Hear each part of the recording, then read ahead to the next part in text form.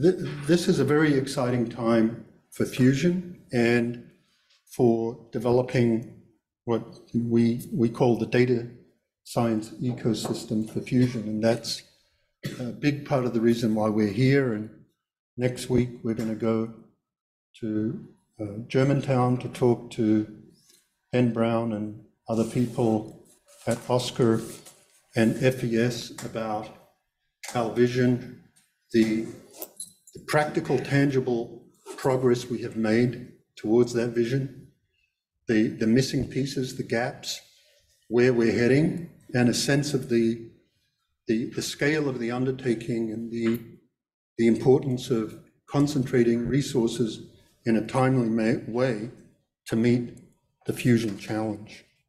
So again, thank you very much for your hospitality. Um, That's it. So uh, just a quick intro. What is magnetic confinement fusion? The goal is to fuse uh, tritium with uh, deuterium hydrogen isotopes to produce a uh, helium, or rather an alpha particle and a neutron. Most of the energy is carried by the neutron.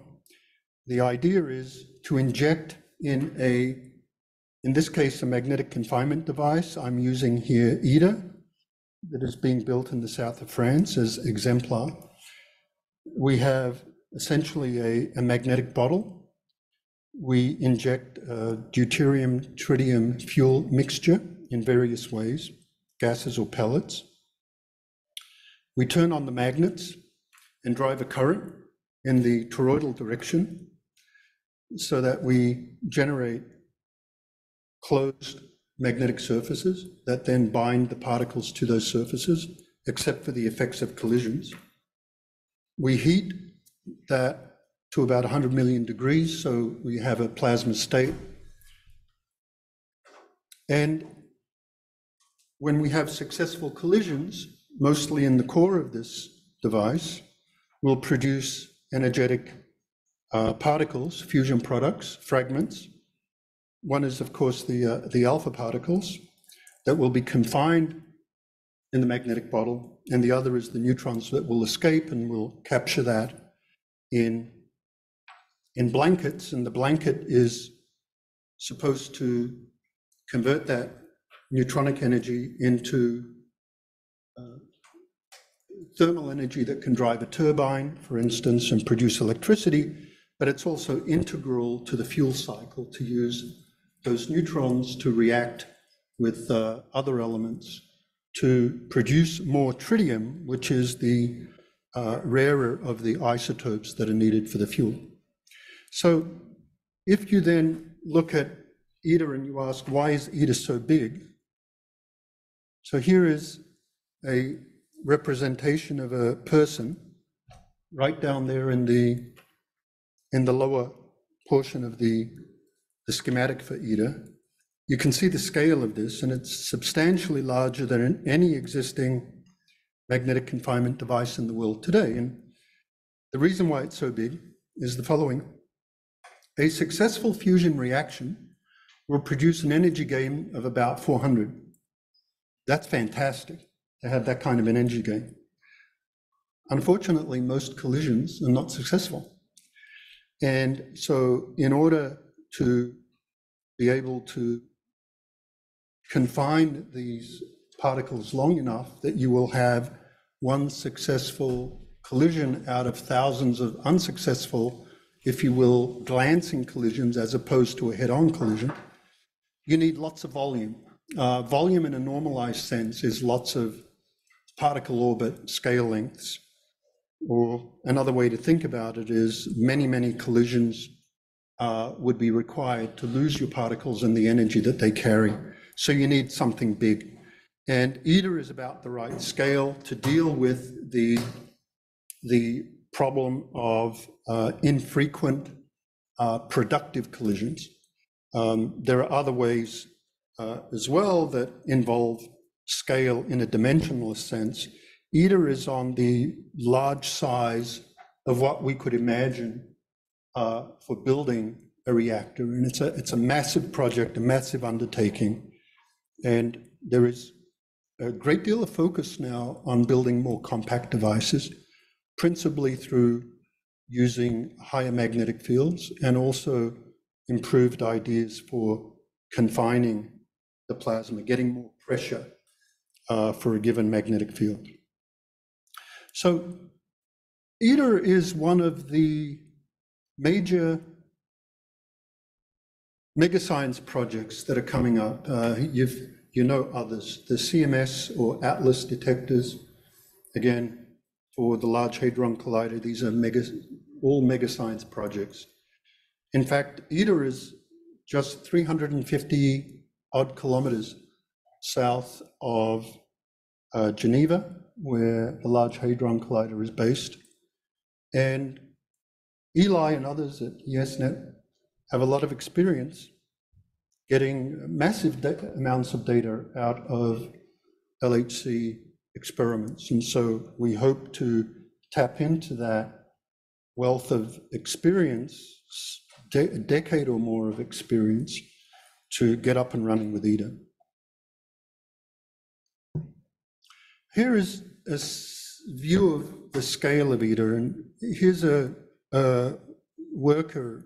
Here's one right? So these are these are actually people, and uh, you're looking down into this. It, it, uh, it, it's truly a massive scale experiment. I thought it would be nice just to give you a sense of uh, the scale of this thing. Um, here's another view.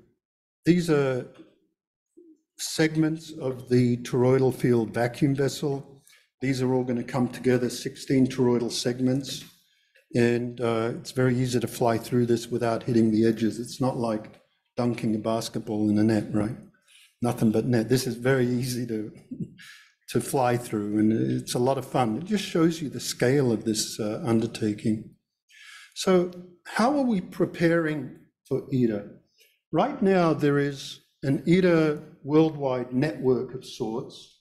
It's a loose configuration to call it a network is a bit of a stretch, but basically it's, and these are only a few of the operating facilities today. DIII-D in San Diego, there's MAST-U in uh, the UK, there's West in just uh, within a mile of ITER itself.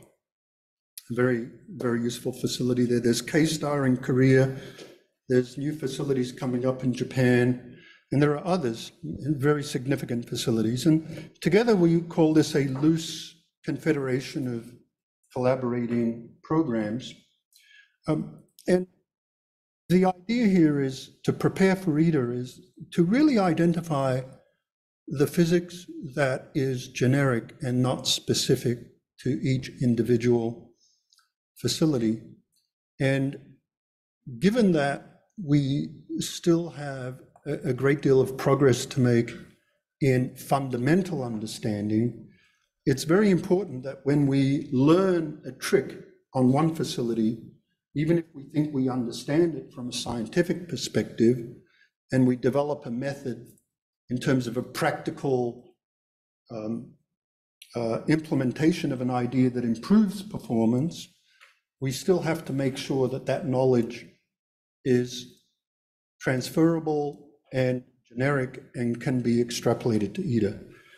So I'll come back to this and give a sense of where we want to move this in the future. But, but the, the big picture is we want to create a much more substantial international worldwide network based on the data science ecosystem that needs to be, we believe, is essential to enable fusion and ITER to succeed.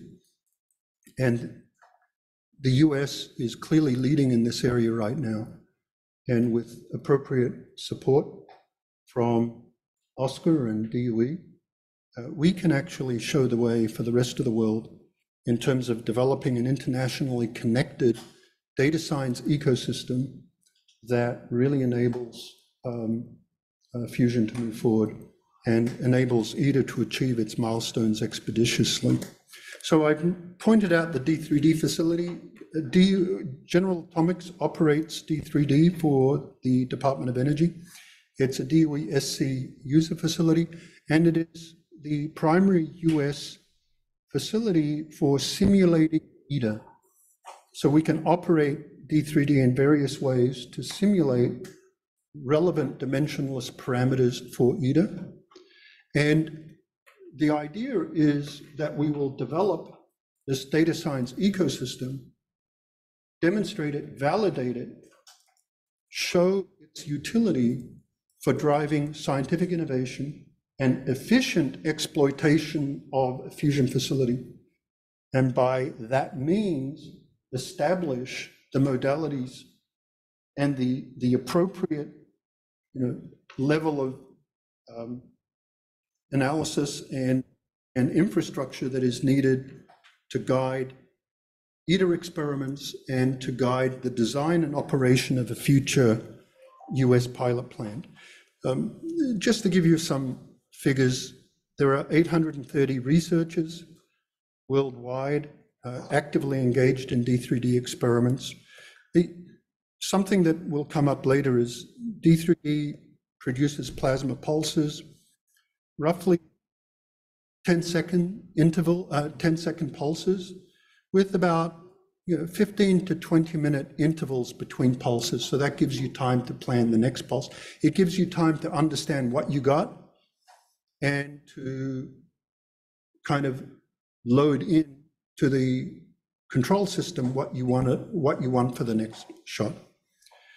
Um, the key strengths of DIII-D are that it, it's a very flexible device from the point of view of control and from the point of view of the accessibility of the configuration space. And this has made it a real world leader in fusion. It's one of the top experimental programs, scientific programs in the world in terms of contributing substantial design elements to ITER, for instance, and also to a future pilot plant. It's also a tremendous uh, platform for model validation because over the years we've developed, and the US is a leader in this in general, but DIII-D is clearly an outstanding example in the US and worldwide. We've developed a suite of uh, very powerful diagnostic instruments that allows us to rigorously test our physics models. And for these two reasons, it's rather unique in the world. So, where are we? We're building ITER. In, at the same time, we had this White House summit in 2022 that came forward with a decadal vision for fusion. And it was a commitment that we will achieve fusion power on the grid in a decadal timescale, which means that the US will develop, in parallel with ITER operation, a compact commercially feasible, compact fusion pilot plant that can put energy on the grid in the mid 30s.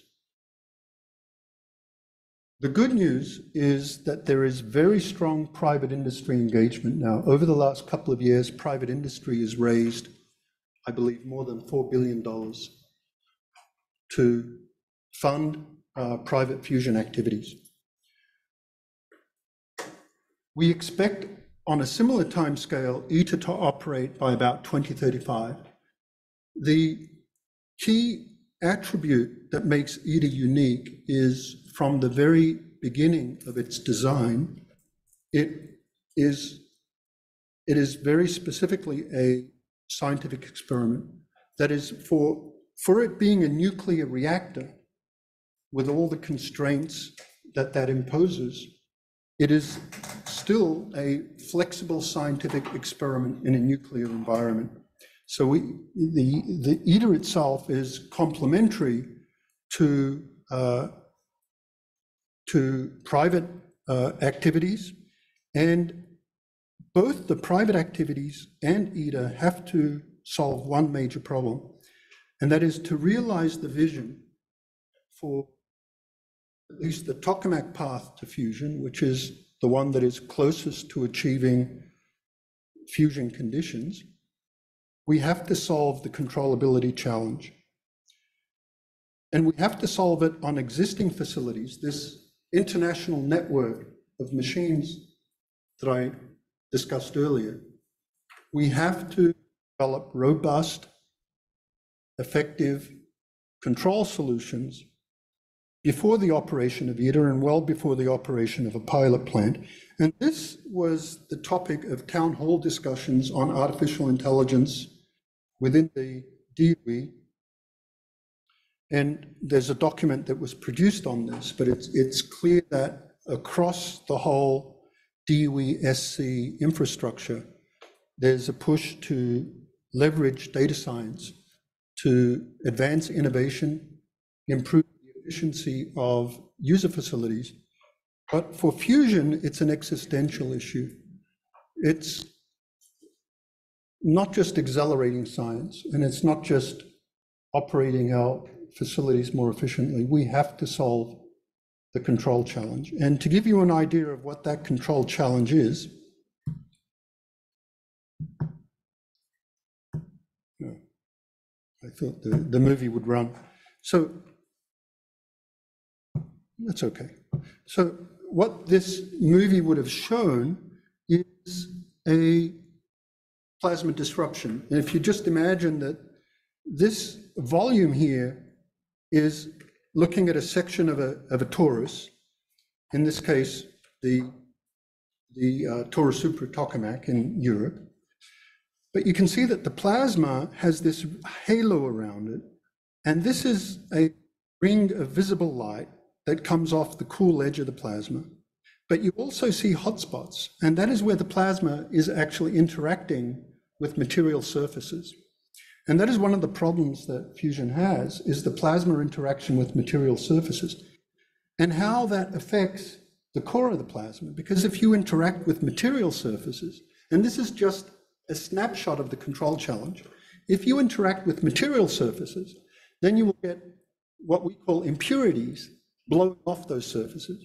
Those impurities can then blow into the plasma. It can then cool the plasma, push you away from fusion conditions, but more importantly as well, it can things called major disruptions where you then trigger an instability, and that instability basically terminates the discharge and loads the walls with heats and particle and electromagnetic forces because there's a lot of magnetic energy stored in that plasma. And this is part of the challenge that we need to resolve, and we haven't fully resolved it. There's been advances, particularly with machine learning, in developing inference engines that are getting better and better at predicting and avoiding disruptive events. But uh, there's a great deal of progress that still needs to be made. And we have to demonstrate that those solutions are transferable and they're also interpretable for the operation of a nuclear reactor. And so the key challenge in the control sense is can we sustain the fusion triple product? Can we have enough density at the right temperature with sufficient confinement to generate commercially relevant levels of fusion power production while preventing these things called disruptions, which are instability events. Yes? So there's a question online um, asking about, uh, doesn't the plasma need to touch the surface to transfer out the energy? Correct. How is the, how is that feasible? So the way that that is done is you want to mitigate that energy as much as possible by using, in part, by using radiators. And this is part of the challenge. So earlier I said if the plasma exhibits a significant excessive interaction with a material surface, it can blow off material from that surface. The way we mitigate that is to try to cool the edge of the plasma. The way we do that is by, in part, by injecting impurities that radiate, you know, efficient radiators. Well, but this sounds a little bit tricky because if you inject material to radiate from the edge, does that material get into the core? And does it dampen or otherwise affect the efficiency or the stability of the fusion reaction? And the answer is yes. So it's, yeah, go ahead, Dave. So, but the other thing is, how do you get the power to make electricity, which may have been part of the question? Ah, But that's the neutron blanket removed. that's the neutron blanket. So the neutrons just stream out, right? And they're just captured inside a, essentially the, have a molten lithium uh, flowing barrier that will capture the neutrons. It will both produce uh, fuel in the form of tritium that will be captured as part of the, the, um, the, the fuel cycle of managing the tritium flow, uh, the lithium flow, and also heats the molten lithium, which then transfers energy to uh, good old the steam and the usual. That's how we get the electricity. The way that the reaction is sustained is by the alpha particles that remain trapped in the core because they follow the field lines. And then the trick is to keep the edge of the plasma cool in terms of the thermal that the plasma presents to the walls. So, so balancing these things, you can imagine, is can be quite complex. The the I want to say here, the control challenge is also a data challenge. We've found that with rapid progress with machine learning and AI to develop sophisticated, um, if you will, inference engines that can better predict the the the uh, the trajectory, if you will, of the plasma, and that trajectory has to be updated in real time. But the, the data available for those inference engines is somewhat particularly in terms of physics models. And that's important because for a reactor, we require interpretable models. What does that mean? It means it's not enough for us to put all the data in a black box and to say, we've got the perfect disruption avoidance system. And then nuclear regulatory agency will say, well, how does it work? And we'll say, well, it's a black box. Okay, so is this guaranteed to work in the future just because it's worked in the past? Yeah, we don't know. How does it? Yeah, we don't know. It's not acceptable. We're building nuclear reactors, and so our control systems have to be interpretable. You have to be able to back that out in terms of physical principles and understanding of causes and effects and how plasma works, how engineering components work in the presence of plasma. And so this is a real challenge for us, and it can only be resolved with deeper understanding of what happens in the pla- plasma interactions with the materials. So what's the connection to superfacility? The key point here to understand is that fusion data is abundant. There's not as much fusion data as there is, say, data CMS detectors. The key thing about fusion data is it's multimodal. Many different types of instruments measuring many different physical parameters, from magnetic fields to temperatures, densities, uh, impurity concentrations, material surface properties. A lot of data is collected in many different uh, forms by different instrument packages that measure different things. So fusion data is abundant, but information is limited in the following sense. In order to make sense of what the data is telling us, we first and foremost must reconstruct the plasma state. So what does that mean? It means we need essentially a mathematical description of the shape of these magnetic surfaces, and the properties of the, the kinetic properties of the plasma on those magnetic surfaces. And this is called plasma reconstruction, and it's proven to be a very powerful representation of the plasma if you want to understand the detailed physics, the stability of the plasma, the dominant transport mechanisms of the plasma, the, um, you know, the magnetohydrodynamic instability boundaries, the heat flux to the wall.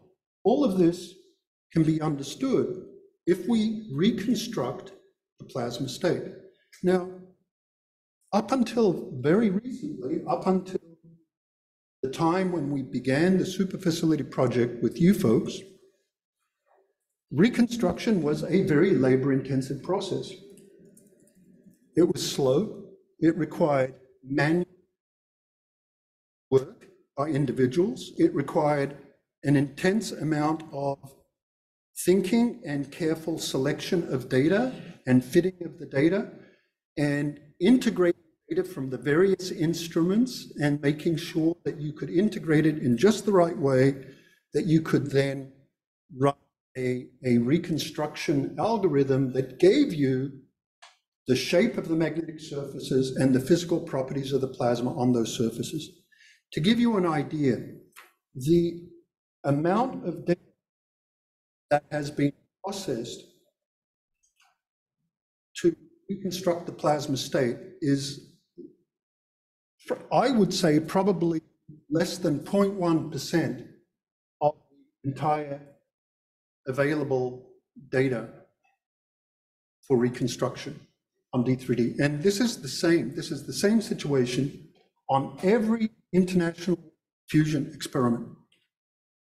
And so the amount of data, quality data that can inform physics of what's going on is highly limited, although data is abundant. This was the major bottleneck that we recognized. And so when we saw the opportunity of superfacility, we said, we could do a lot of things with superfacility. We we could take a signal and take its FFT and maybe, you know, a scattering, electromagnetic scattering. You could look at, or interferometer data, and you could take an FFT and you could look at what the MHD modes are, or what the different spectrum of fluctuation. There's many things you can do. But the real bottom understanding and control is plasma state. So armed with this, we realized that we automated plasma state reconstruction and then model-based analysis on that state reconstruction was the essential uh, bottleneck for us. And that's what superfacility provides. And you can understand now, if you can analyze 99.9% of the data instead of 0., it's truly transformative. And that's the vision we had in this regard. And so we started the super facility activity. We spoke at about, I think, March of 20, we spoke with ASCR and FES program managers. We showed them that we could automate this very labor-intensive process, and we do enough to bring results back to the control room. That was very exciting proposition. Please, go ahead. Uh, so there's another question uh, online um, related to this. Would fusion experiments benefit if data was sent to the supercomputer and received back in real time? That's what we're doing, yeah, near real time. That's what the super facility is. So again, we realized that this was the bottleneck, we said, how can we, A, inform, control decisions? That is, understand better what the plasma state was from the prior pulse and use that information to better plan for the next plasma pulse. So the first motivation is to bring actionable information to the control room.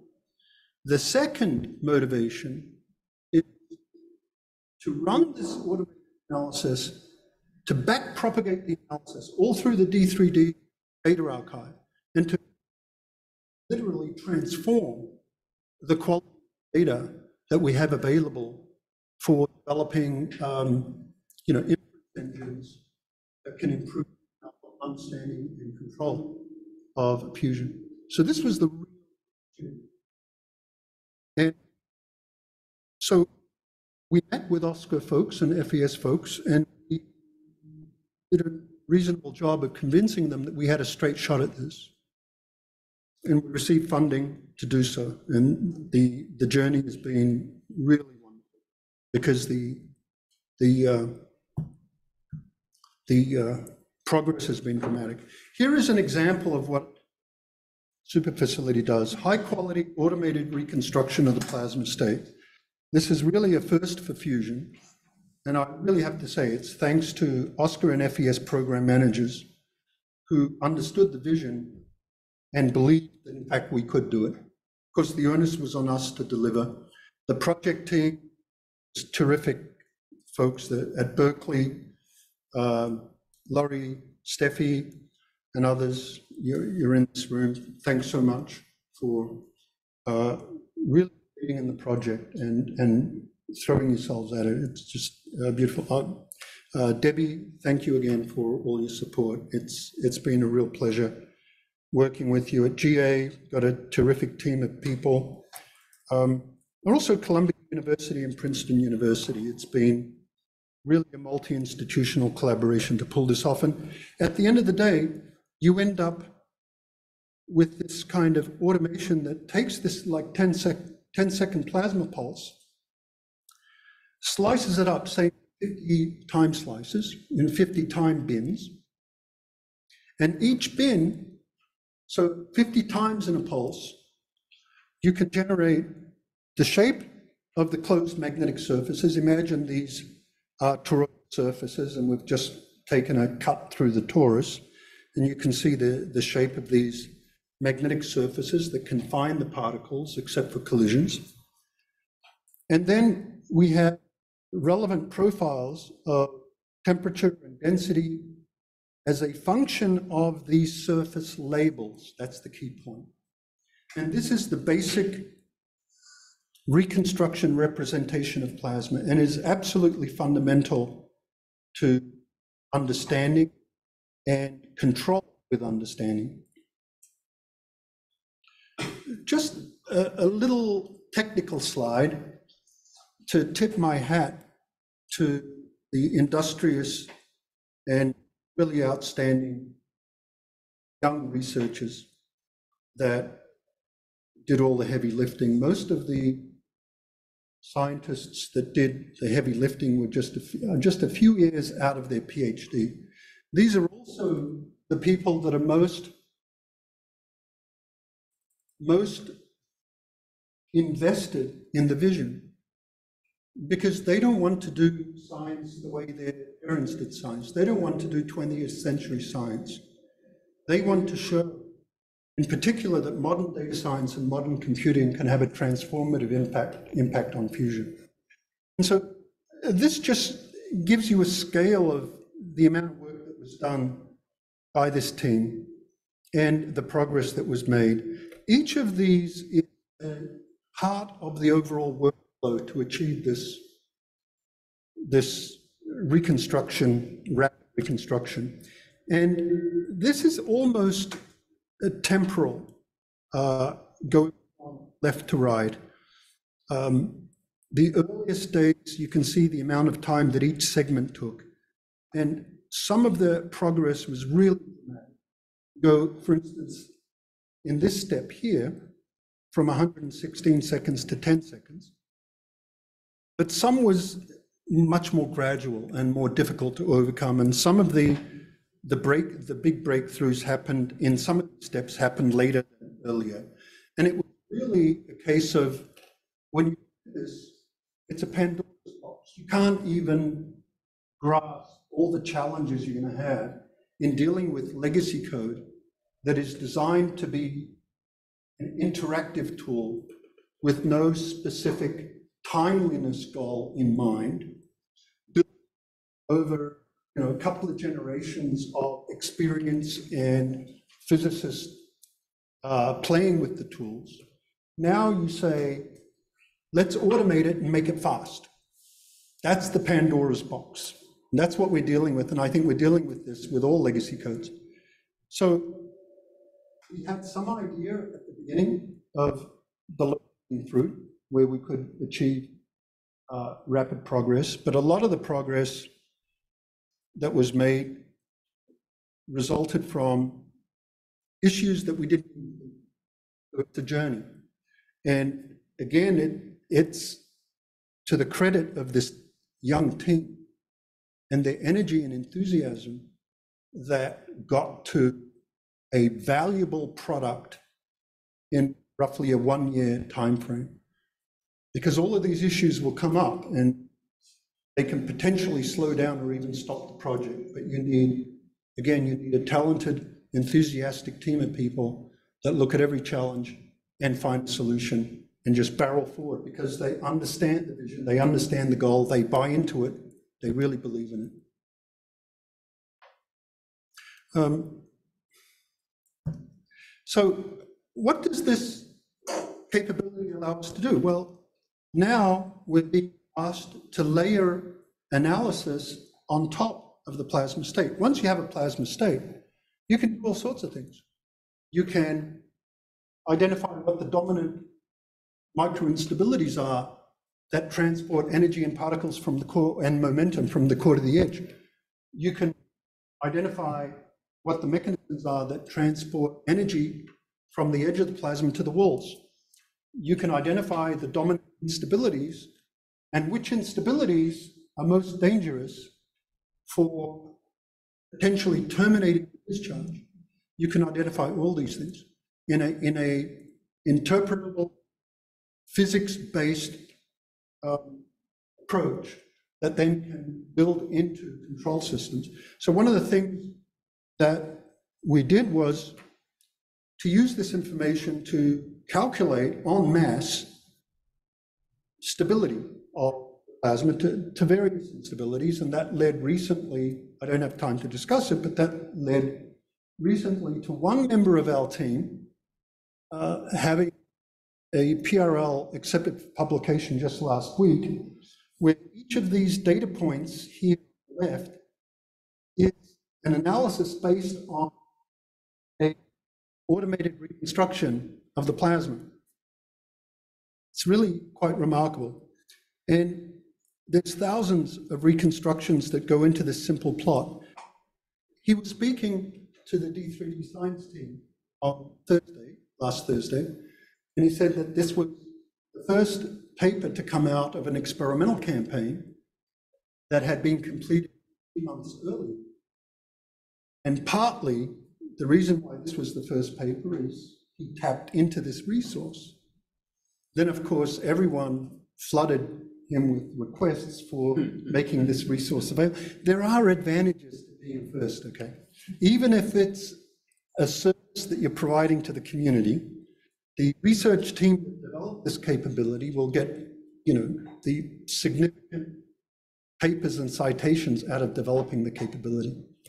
So the other is, you know, thermal transport. If we generate equilibria automatically, what we're showing here is uh, comparisons of different standard models based on gyrokinetic simulations of the underlying plasma instabilities that transport energy, particles, and momentum. And what this plot shows is that immediately after you complete a single pulse on an experiment, you get the plasma state information. Then, in a very unemotional, uninvolved way, which you have to train theorists to, to understand and accept, you send this off to an automated routine that compares different transport models against each other. And then you get a couple of hundred points in a scatter plot, and you automatically identify the deviations between the models, and you try to understand what those deviations mean.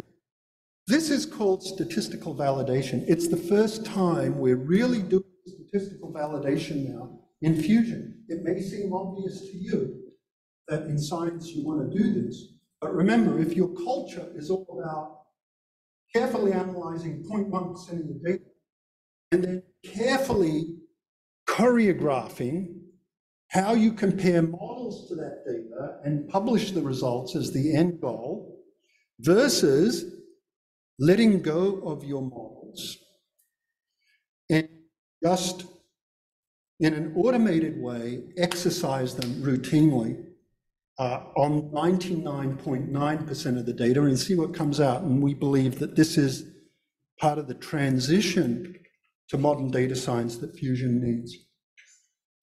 And so what's next? The answer is we're just at the beginning of our journey. Super facility is a very important part of the journey. I just want to mention that, I forgot to mention here, that um, 20 years of operation, of, over the last 20 years, and mostly over the last 12 years, when manual reconstruction was more or less uh, developed as a workflow, as a kind of standardized workflow. Like the entire DIII-D program, really over the last 12 years, has produced only 4,000 reconstructions. Right? We're producing 50 reconstructions per pulse. And the three months that we were running super facility, we produced 20,000 reconstructions, of which 10,000 were high quality reconstructions. That is, you could not differentiate that from the, you know, in terms of qualities that a human would see as important. So that's 10,000 in three months versus 4,000 over 12, 12 or odd years. It, it's truly transformative. And, and also the advantage of super facility is it's reproducible.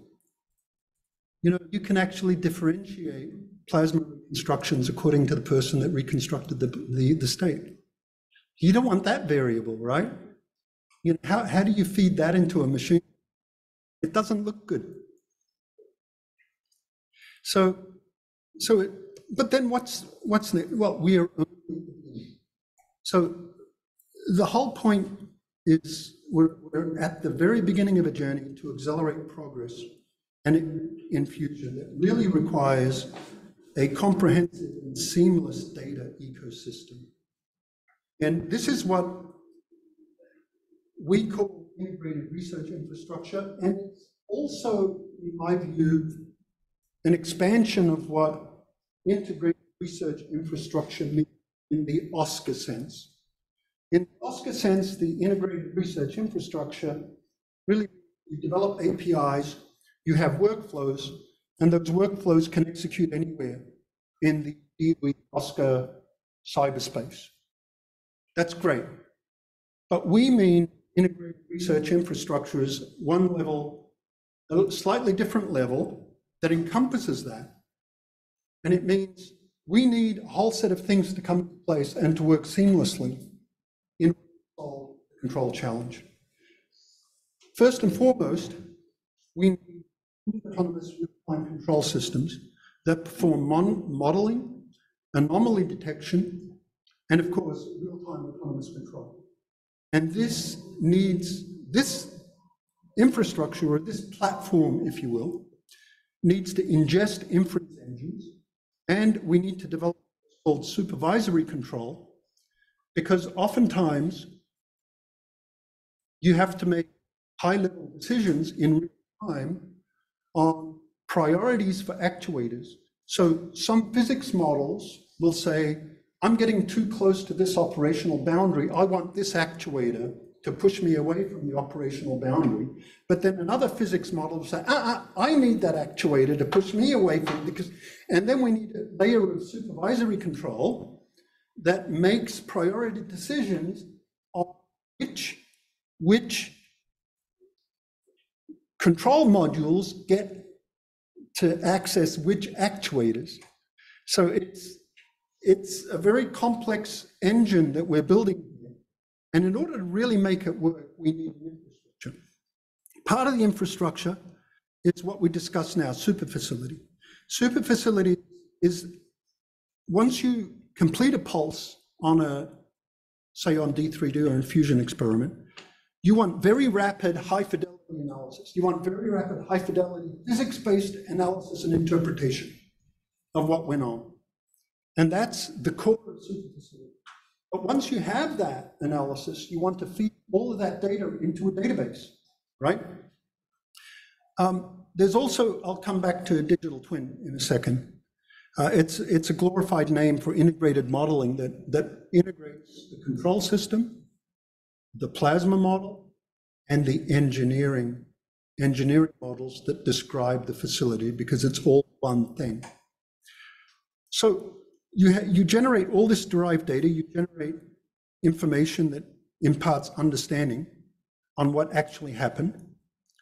But all of this data needs to be fed into. So developing a Fusion data platform. Brian Sammuli is the PI for the Fusion data platform. And it's all about being able to access and process data at scale, simulation data, experimental data, to produce these inference engines or to produce solutions that can be implemented into real-time control. Then, of course, there's always a role high fidelity simulation, and I won't speak about that, that's a separate thing. But finally, you have all this information and you want to fold that information into designing the next pulse. And that's where the digital twin platform comes in. What that platform represents is it holds onto as the boundary conditions of the simulation the prevailing uh, limitations and conditions in the experiment in the facility at the time. What the facility can actually do, what the condition of the facility is, what the condition of the walls are to the extent that you can capture that. And then you, you use your inference engines and optimizations to predict what the control system has to do to achieve the target goal that you want in the next discharge. And you use that optimization with human in the loop, because it is a reactor, to set the parameters for your control system. So that then you can press the button and your control system will execute fully autonomously. So this is a data science ecosystem. It involves super facility, it involves fusion data platform, but it also involves a digital platform. You need a native time-dependent simulation capability where you can insert inference engines or different models with different physics fidelity and execute a time-dependent simulation and an optimization on that that integrates the control system, a model for the control system, a model for the plasma, and a model for the plant. And that right now is missing. Um, the Fusion Data Platform has now just begun. So for the data platform, the focus is, again, Brian Sammuli is the PI, the focus is to enable uh, machine learning and AI at scale. And This is for Fusion, multiple petabytes. And to ensure that the platform provides easy access to Fusion data and machine learning tools for broad participation. If you look at the NAIR report and you look at the DOE AI Science report, creating platforms that enable broad community participation in modern data science is essential, both for strategically for the US uh, to maintain leadership in data science in general. It's essential for workforce development, create access to these platforms for the student community, and also, uh, of course, for driving forward solutions in um, uh, for fusion. It is also to guarantee model reproducibility and provenance of data and models. Again, this is a nuclear reactor. The regulators will be unimpressed if you cannot provide full accounting for where the data came from and where the models came from. So this will automatically keep track of all provenance. It'll provide a unified environment for experimental data simulation and plant data.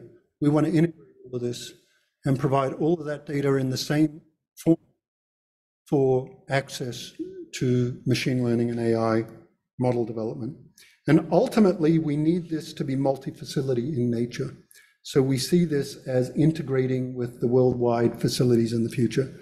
Um, and also, we will develop as part of this the worked models, leading edge models that actually leverage all of the available data to demonstrate advances in machine learning and AI for uh, the most challenging fusion problems. Um, so in terms of digital we've started.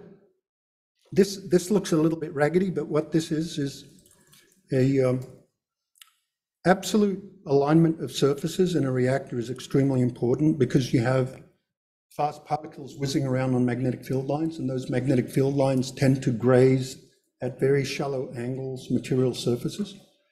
So what we're doing now is, is laser metrology of the entire plant to within 80 micron spatial, absolute spatial resolution. And we want to be able to build that into a digital twin platform. So I think that kind of realism is essential. So it's really um, integrating a digital uh, uh, twin platform development with, with real physical metrology, but also we need to integrate that. We'll, we're working with NVIDIA, integrate that with the Omniverse um, uh, capabilities. What's needed in the future is to also integrate this with a proper plasma simulator, something natively time dependent. We have uh, tools that we're working on in that area, and to also integrate a model of the entire control system, because ultimately what you want to do is simulate the plant, simulate the plasma, but actually also simulate the control system so that you can then figure out what settings you need in the control system. Um, and to make this an interactive tool. So we have started down this journey and it will be a, um, I believe, a very, very fruitful one. Five minutes. So getting back to ITER, I discussed the ITER Worldwide Network. The, and I discussed that it's really a loose confederation of programs and basically people exchange. So we need, and our vision is to integrate a, a data science ecosystem and to embed this in the worldwide network of facilities that are preparing for ITER. And we need to integrate at the level, level of the data, level of the networks, level of the analysis, computing, and modeling infrastructure. And this simply does not exist. We are really ahead internationally. And our discussions with international leaders are very, uh, very positive in terms of being able to extend this uh, beyond our borders once we demonstrate its utility. The, mo the model that we're seeking is, it's not exactly identical, but it's the model of the worldwide LHC computing grid. We want to see an international computing grid that will not only help support research on current devices, uh, but to also support ITER operation and to stand up this infrastructure for ITER when ITER comes online. And again, this is a nice plot to show that we've got through ESNet a lot of experience doing this internationally, and we believe that uh, we, we can uh, do so uh, for fusion, but it requires immediate action. So the we strongly believe that the US, through ASCR FES and NSF partnership, can lead the world developing the data science ecosystem for ITER and Fusion. So finally, the um, the message that I convey and that I'm going to convey in Washington is we know what we're doing. we've achieved real traction. We've got strong interest from the scientific community to develop and build out this infrastructure.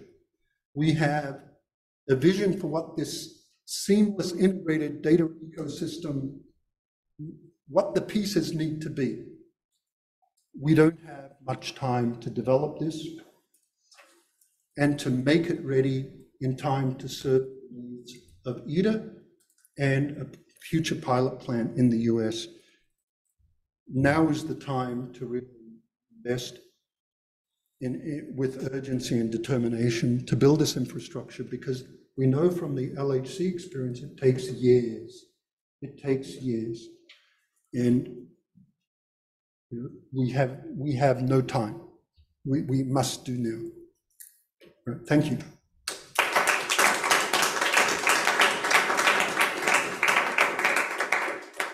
So, uh, question about the, the Fusion Data Platform.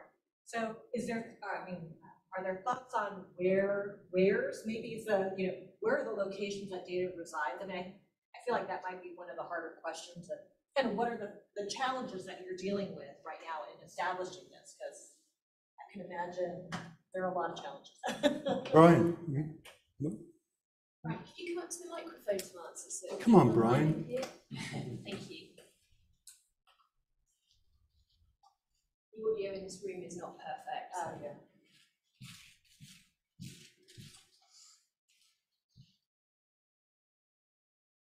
So I- I, the question was, what are the, the main challenges? Well, so one is like, do you already have in mind where the data resides? Is it everywhere? And then kind of what are your biggest challenges in, in this space? Uh, well, the, the main idea, I think, with the Fusion Data Platform is that it, it'll be federated. And, and what we're doing, working with uh, UCSD and the San Diego Supercomputing Center to, to leverage their uh, open science data federation stack to do the distribution that way. And so uh, for the first iteration, the plan is to have the data actually physically hosted at GA, but then uh, as, as their terminology is they have origins and caches. And so, so there'll be a, a origin and caches that can be pretty much anywhere you want. Uh, but for the first proof of concept, it will, it'll be at uh, SDSC. Um, and then that can be expanded out, uh, you know, however we want in the future. Uh, we can have multiple origins and multiple caches all, all over the world. And then, and then that model will sort of um, be something we can, we can, you know, distribute to places like uh, Princeton, MIT, um, either uh, UK, whatever. Um, So in, in terms of the, the, the challenges, um, uh, there, there's plenty. Uh, um, the, the fusion data is um, there's lots of variety to the data. And so and so there's not just one way of, of, of handling it. There, there's many different uh, dimensionalities to it many different time scales uh, many different so it's, it's, it's a very much a multimodal problem. And historically there hasn't been uh, a, standard way of dealing with it and so that's that's sort of one of the things we're trying to sort of get a handle on is converging towards a more unified representation of the data and a more unified way of um, of, accessing it. And and actually, really, um, I would say probably the number one problem face right now, as of today, is that the data exists in silos and it's behind um, sort of difficult user agreements and, and not everybody can access it, right? So, so that's, that's really the broad vision is, is to, to democratize the access to it using fair principles and, uh, and really sort of standardize and, and, and make it so that the broader uh, data science, machine learning, AI communities can actually access it and do useful things with it.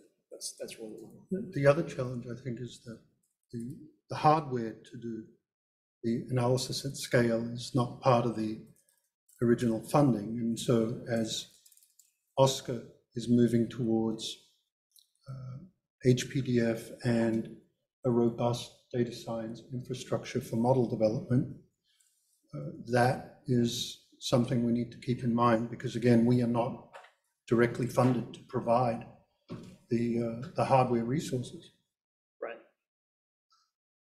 Um, so, um, uh, you've been talking a lot about, um, adopting several aspects of the LHC collaborations as a, as, as a model. One of the things that, um, that community, uh, does explicitly is include the, uh, systems operations staff and, um, sort of computing infrastructure, software stack developers as part of the collaboration.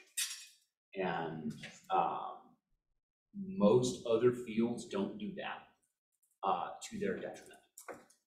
And uh, so thi- this, this is something that, you know, if you, if you, if you go and talk to, to um, leaders in the LHC community, right, they spend a huge amount of effort on computing infrastructure and software infrastructure, in addition to developing science codes and experiment operations. And um, it is, I, I, recommend that when, when you're talking to um, funding agency leadership, that you include that in your narrative, because uh, a lot of them think of people who operate computers as IT. And that's a cost center and it needs to be minimized and get that out of my face because I'm working on the science and that's where the value is, right? And the vision that you've presented, I think is, is spot on, right? Where it, in- if you can integrate the computing and the data analysis, right? It makes the science much more productive, makes the entire experiment operation, the, the entire scientific ecosystem more productive. But, uh, it is, I would like to be wrong about but I expect that will require a cultural change in the funding agencies. And so I think that's a sociological effort that we would do well to embark upon explicitly. We hear you very clearly, and perhaps the way is platform development and maintenance. One of the things that we will convey when we go to Washington is that we really need a, an operations team, if you will, comprising of your expertise here and our domain expertise at GA and elsewhere to meet the growing demand and needs of our community. This, this is a service. It is not a thing, it is service. And service needs ongoing staff to maintain, operate, optimize, and, and enable a very, a positive user experience. And it can take many forms. Fundamental applied math and, and, and physics issues. We were talking about grid generation, for instance, as being one of the bottlenecks in another workflow that people want to implement. A simple thing, like automated grid that will allow a code to execute reliably and robustly 90% of the time instead of 10% of the time. These things and many other issues that it's going to be applied math and just software development, we're going to be running into them as we expand the super facility capability and as we provide these platforms as services to the community. And it's going to be extremely important. You're absolutely right. A key ally of ours is uh, Frank Würthwein. We recognized his value as a partner with us very early on because of his deep understanding, knowledge, and experience of how the high energy physics community works. And we really bring that culture into what we're doing. Thanks a lot for that suggestion, Eli. All right, any uh, last questions? Room, online? Oh, know you want to eat lunch, but. Yeah, but- Before, before question, so I know that there's been some, um, uh, uh, collaborations also with Argonne, and I was wondering, you know, is the hope to bring super facility to all the other, like, leadership computing facilities so that you can run your workflow in a variety of I'd. I'd like Dave Schissel, comment. Dave, you need to speak to the, no, no, Dave, you need to speak to the microphone. Come on. Come on, Dave, you can answer this directly. Dave has worked very closely with Argonne, and we've got lots of plans in that direction. Yeah. Sort of reminds me of the Three Stooges, right?